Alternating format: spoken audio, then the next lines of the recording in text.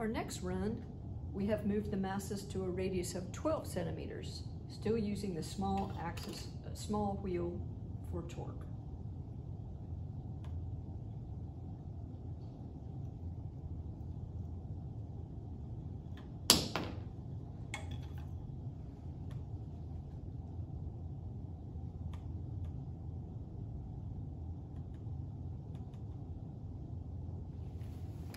And show you our acceleration here.